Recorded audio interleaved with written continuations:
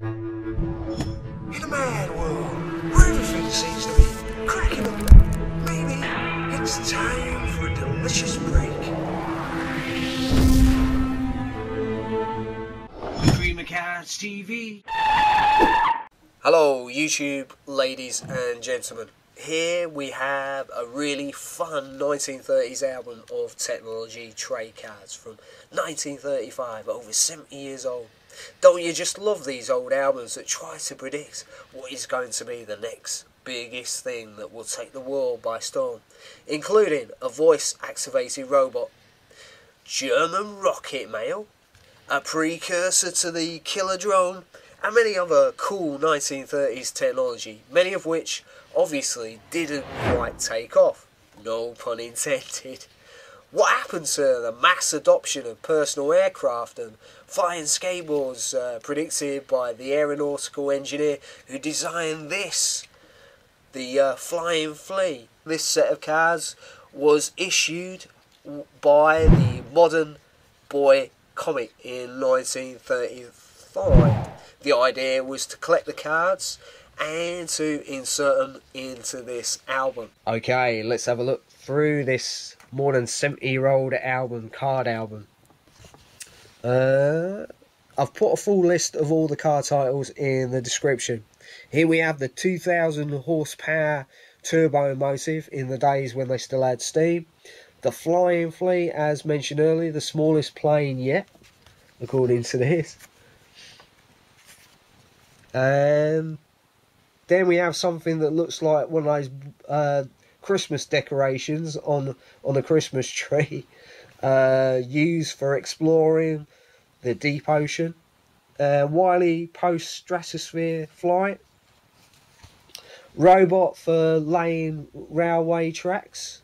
200 mile per hour car. What other delights do we have? Wood wins TT by four seconds. Living maps. Uh, skiing with a parachute.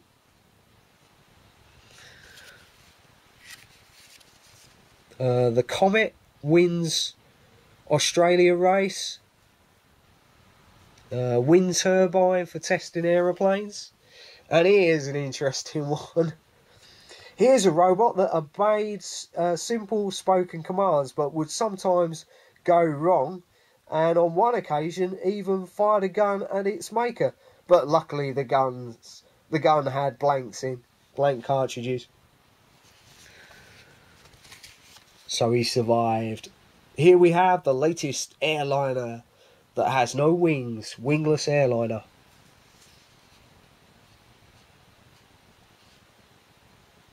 Million volt man made lightning. And electric eye times race. Aeroplane that splits in two. Actually, that reminds me of the space rockets that were developed later on. Streamline record breaker.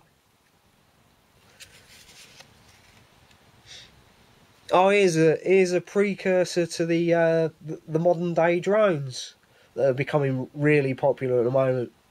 Uh, ba- basically, radio controlled aircraft by the Royal Air Force. And here we have an aeroplane train. It's basically an aeroplane connected up to a series of gliders, I believe.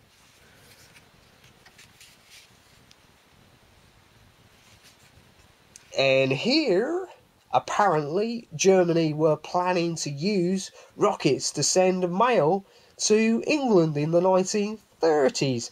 But at the same time that Hitler became head of state, they certainly sent sent rockets to London, but postcards were not attached in uh, World War Two.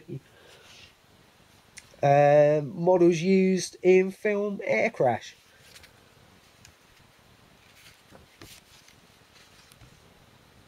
Firefighting, lost plane found. So, great set of cards. Thanks for watching.